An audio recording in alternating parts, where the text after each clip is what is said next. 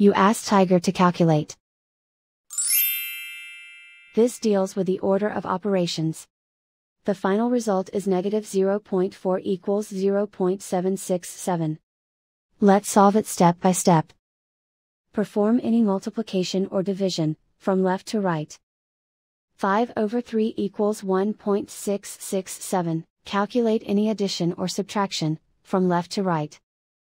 1.667 minus 0.9 equals 0.767, and so the final result is negative 0.4 equals 0.767.